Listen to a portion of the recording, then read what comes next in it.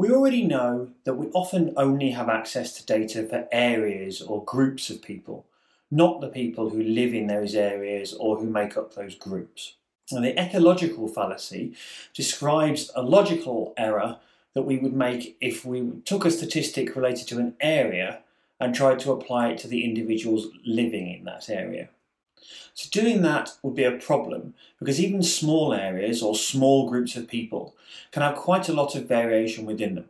For example, even in an area as small as one or two streets, we might have houses, offices, shops and other places that are quite different in the opportunities they present for crime.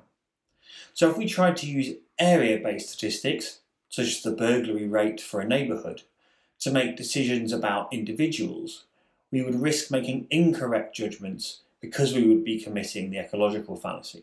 Now, this is particularly important when a small number of people in an area are responsible for a large proportion of the thing that we're studying. So, where the distribution of the, that thing is skewed, which is often the case um, when we're studying crime.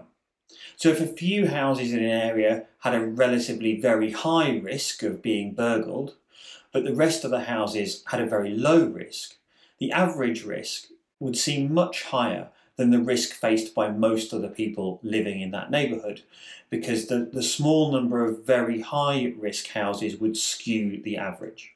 So when we have data for an area, we can make statements about what that area is like on average, and those might very well be useful statements.